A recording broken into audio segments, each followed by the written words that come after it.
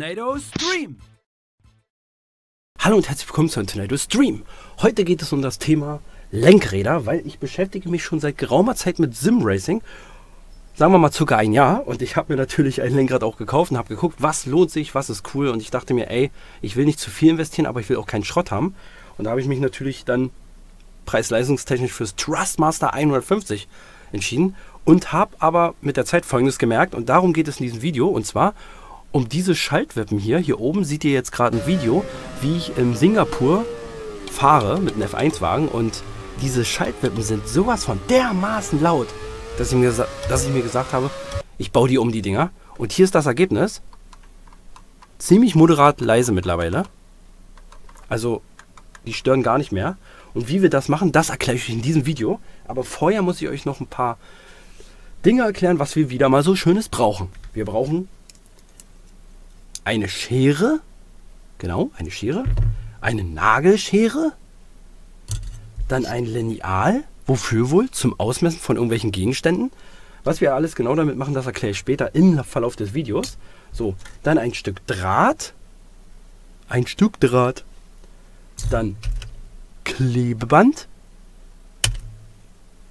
dann brauchen wir noch das Allerwichtigste, einen Schraubenzieher, am besten magnetisch. Ganz wichtig. Weil wir müssen das ganze Ding zerlegen.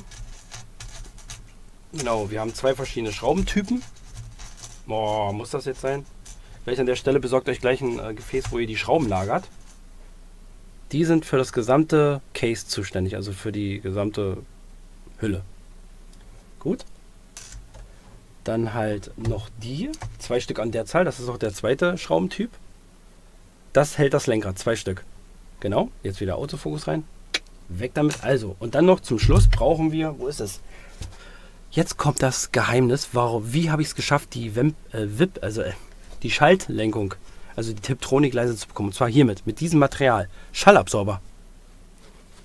Und wie das jetzt funktioniert, zeige ich euch von A bis Z, Schritt für Schritt. So, als erstes schnappt ihr euch die Wheelbase und dreht sie erstmal um. Dann schnappt ihr euch den Schraubenzieher und schraubt drauf los. Hier ist bloß gleich vorweg noch gesagt, wenn ihr das macht hier, dann habt ihr keine Garantie oder Gewährleistung mehr. Also überlegt es euch gut. So, alles schön die Schrauben raus und in euren Behälter. Dann den ganzen Trümmer hier wieder umgedreht. So, jetzt kommen wir zur Blende und zwar hier die. Die hat auch nochmal vier Schrauben. Dazu nehmt ihr euch wieder mal den Schraubenzieher und dreht erstmal das Lenkrad in Position, damit ihr an die Schrauben der Blende rankommt. Hier schön drehen. Jetzt die dritte Schraube. Und die letzte Schraube. So, genau. Und jetzt geht diese Blende ab. Jetzt zu guter Letzt sind noch drei Schrauben, die die Rückhülle halten. Und zwar hier sieht man ganz deutlich eins, zwei und drei. Die werden auch wieder rausgeschraubt, damit wir das hier lösen können.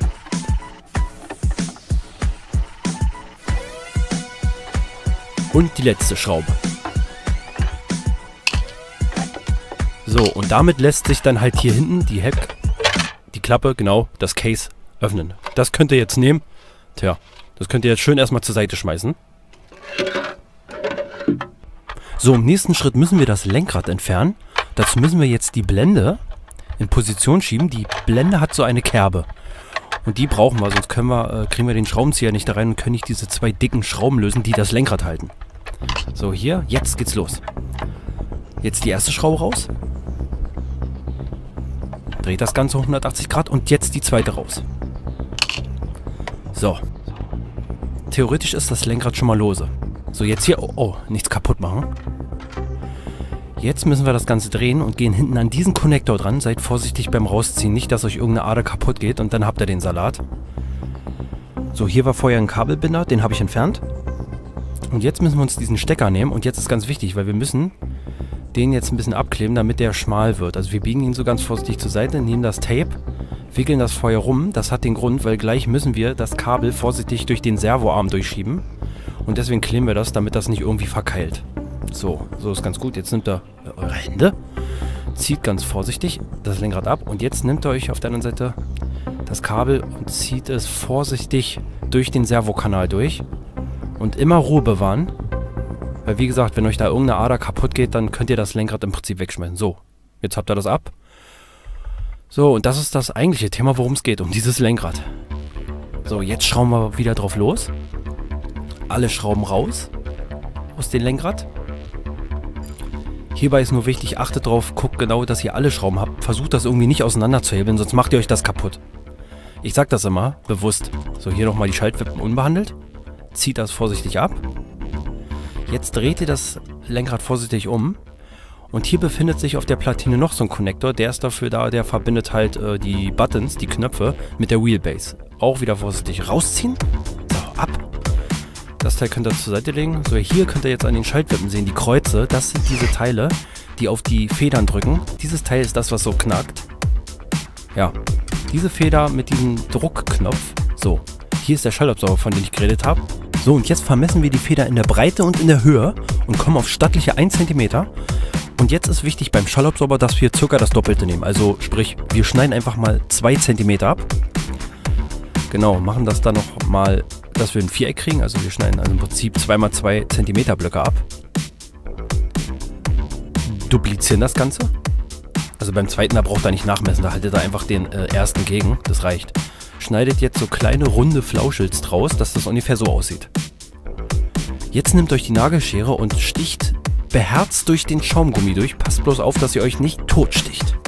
Und dreht ein bisschen die Schere und jetzt müsste halt hier, wenn man so ein bisschen zieht, zeige ich euch, wartet mal, hier so ein kleines Loch sein. So, und jetzt müssen wir das rüber, oh, vorsichtig rüberstülpen. Ein bisschen mit Technik und Gefühl. Hier so ein bisschen äh, den Finger zum Einsatz bringen, dass das so rüber geht. Das muss richtig schön stramm sein. Schneidet das so in Form, so dass das ein schöner Flauschel ist. Macht dasselbe auf der anderen Seite. Voila.